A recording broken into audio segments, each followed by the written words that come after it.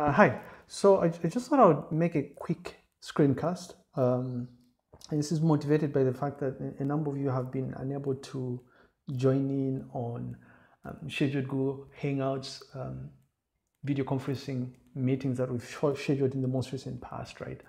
Um, and this, this actually also includes the third years, which is probably joke of the year, really, but besides the point. Um, so an effective and easy way that I've found to work is um, to take advantage of Google so-called work profiles. And so the idea behind work profiles is um, you, you, you want to separate activities associated with personal uh, email accounts from work-related email accounts.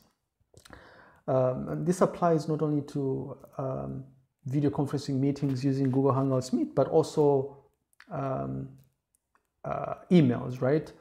Um, so when you set up a work profile, you'll be able to easily access your work-related emails, so emails that are sent through to those various um, cause mailing lists, for instance.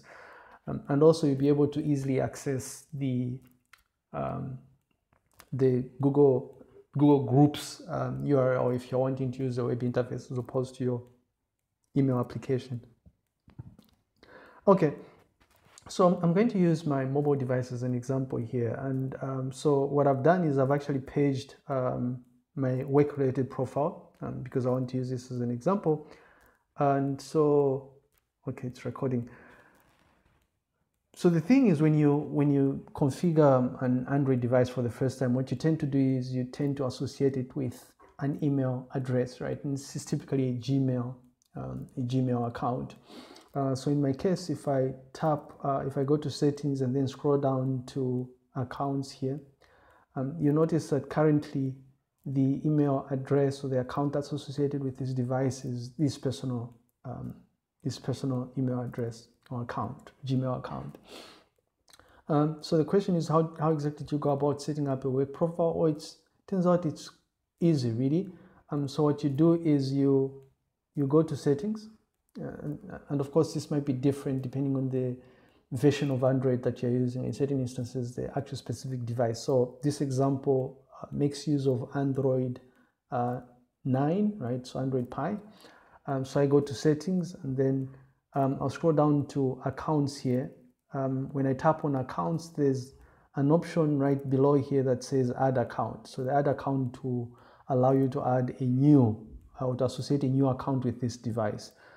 Um, and so on, on the next screen, make sure you choose um, Google because um, our UNZA assigned email addresses are, um, are actually managed by, by Google, right?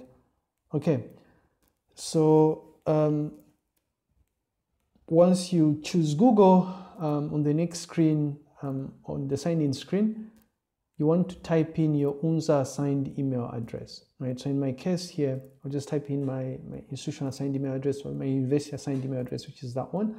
And then I'll just click the next button. Um, on, on the next button, I mean, this is all intuitive here. On the next button, what you want to do is you want to type in the password associated with that account. Click the next button. Um, and then depending on how you've configured your device, in my case, um, it asks me to I go through a two-step verification process where I need to verify that I am I'm actually wanting to associate my account or my device with this uh, new account. Um, okay, and then I'll just um, accept Google's terms of service. So I'll just say agree here. um, and then I'll just wait for for the work profile to be configured. Now this this um, this takes um, um, a few minutes to to complete so you're just going to have to patiently wait until the configuration is done. Okay so you notice that um, um, a screen comes up here which um, facilitates the actual work profile creation process. What you want to make sure on the screen is make sure that this I do not want a work profile checkbox is unchecked right? So you want to make sure it's not checked. Um, once you do that, you click the next button um, and then tap on the accept and continue button, right? Um, so what's happening right now is the, the work profile is actually being created and being set up on my behalf. Um, so be, behind the scenes, what, what's actually happening is, is that uh, default applications associated with this work profile are going to be set up. So you wait for the work profile to be created, um, and then after a short while, it should be um, the creation process should should should finalize.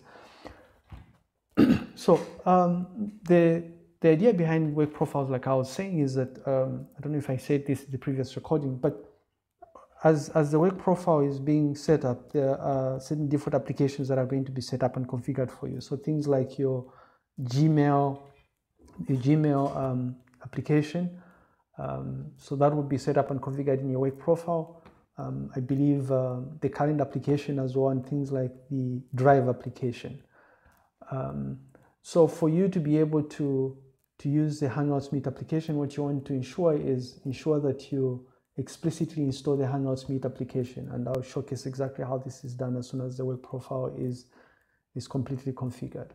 Um, and there's, there's, an easy, there's an easy way of finding out if an application is associated with your work profile. All you do is you search for the application name. And typically, um, work profile centric applications normally have a blue briefcase associated with them. So there's typically a blue briefcase icon on the bottom right of the application icon itself within Android and I'll showcase all of these different things. Uh, and, and so what typically happens is for you to be able to use the work profile centric application, you'll have to explicitly open up that application. So for instance, if you're wanting to access um, emails coming in from your UNZA assigned email address, what you want to do is you click the Gmail application with the blue briefcase. Um, on the other hand, if you're wanting to access personal um, or emails coming into your personal account, what you do is you you you open up the application that doesn't have the blue briefcase associated with it. So just a little while longer and then it should be done hopefully. Just wait.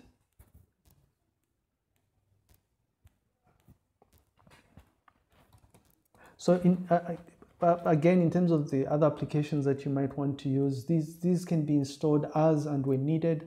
So for instance, when, when you get to start looking at uh, productivity tools in uh, 1020, for instance, as the first years, um, you can then install uh, things like uh, Google Sheets and uh, Google Docs um, and Google Slides with, within your Work profile.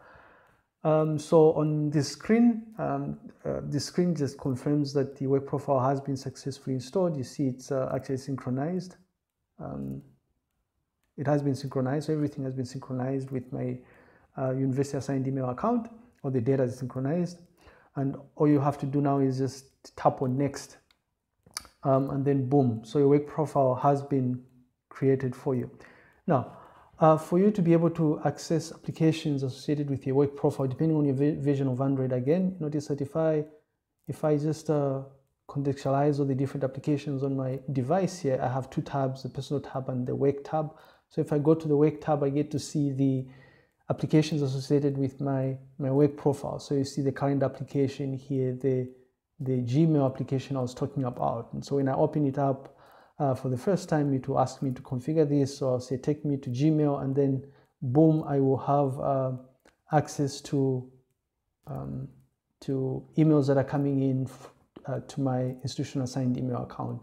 Compare and contrast with emails that are coming in through to this personal account, right? Um, so this will take me to my personal uh, personal Gmail account, right? which is, uh, there you go. Okay, so, but you notice that uh, uh, currently if I, if I search for, for applications on my phone and if I say I want to look at the Meets application, um, the Hangouts Meet application, you notice that the Hangout Meet application I currently have installed is only associated with my personal, my personal Gmail account. How do I know that? Because like I said, all applications that are associated with a work profile have, a blue briefcase icon on the bottom right corner, right? So this Meet application doesn't have a blue briefcase icon. Compare on the other hand, if I search for Gmail, right? I have two Gmail uh, apps installed on the on, on the device. One has this uh, this one here.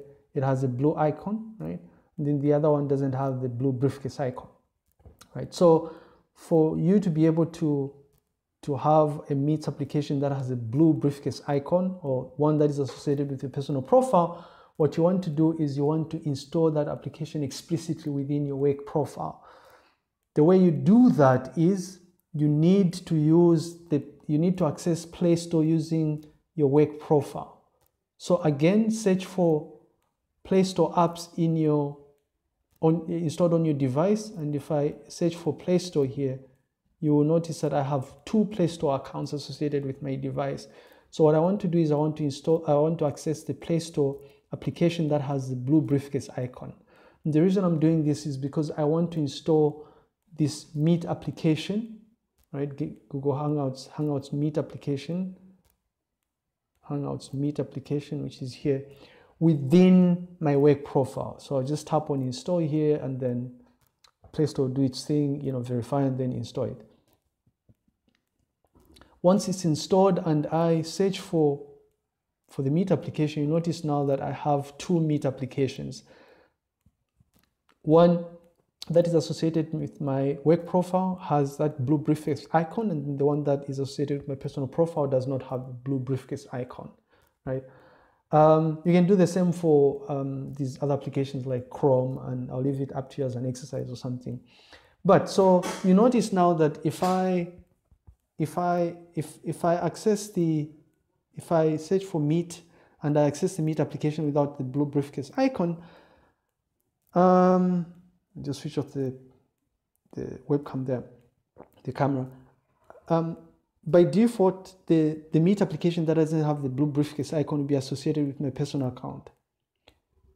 But when you're wanting to join in in meetings um, that have been scheduled by your respective lecturers, like Lighton, for instance, what you want to do is you want to op open the, the Meet application that has the blue briefcase icon. So you search for Google Meets here, and then you click the one with the blue briefcase icon. And because I'm doing this for the first time, you to ask me to explicitly grant access to um, certain components of my device. You know, switch off the video as well here.